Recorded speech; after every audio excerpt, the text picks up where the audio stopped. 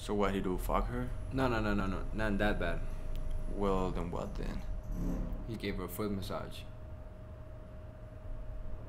A foot massage? Mm. That's it. Mm-hmm. Then what Marsellus do? Sent a couple cats over to his place. They took him out on the patio, threw his ass over the balcony. Nigga fell four stories. He had a little garden down at the bottom, enclosed in glass like a greenhouse. Nigga fell through that. Since then, he kind of developed a speech impediment. That's a damn shame.